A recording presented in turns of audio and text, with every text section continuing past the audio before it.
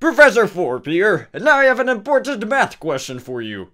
What kind of meals do mathematicians eat? Square meals! And if you are sane, I don't get it, it's because you haven't learned about area yet. But don't worry, you are about to. As I said before, I never repeat myself, so pay attention. Area is the number of square units in a given space. Knowing how to figure area is helpful when you are tiling the floor, putting shingles on your roof, installing carpet, or doing many other things.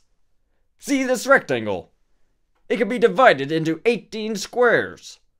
Each square has four sides that are 1 meter long.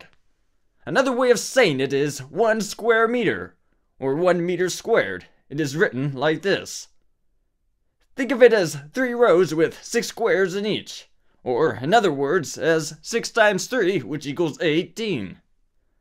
Be sure to label the area by the type of unit that was used to measure it. Since the squares are meters, we would say that this rectangle is 18 meters squared, or 18 square meters. You would label the area like this. The 2 is read as squared, and means that you are measuring the number of squares.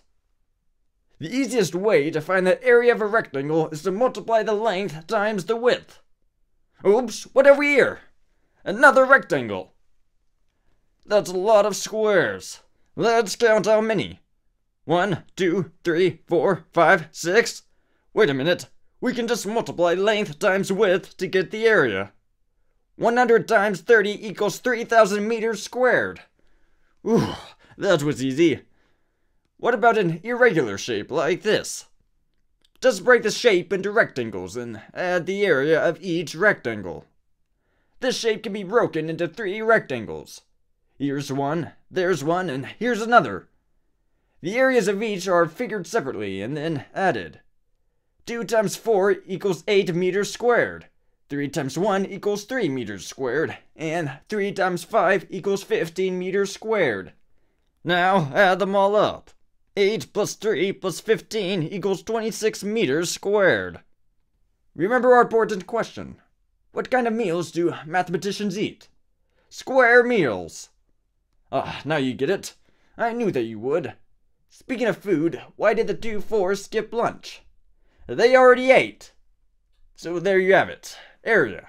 The number of square units in a given space. Until next time, be sure to learn new information daily. Be sure to share and subscribe for more videos that make learning fun.